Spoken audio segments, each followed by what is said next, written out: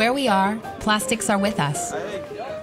They make our lives easy, they keep us safe. But now, we are drowning in them. Plastic packaging waste is in the rivers, oceans, and cities. It's threatening the environment, the economy, our health. We cannot do without plastics, but today we have a plastics crisis on our hands. Instead of using plastics packaging once and then throwing them away, we need to work together to transform our economy towards circularity.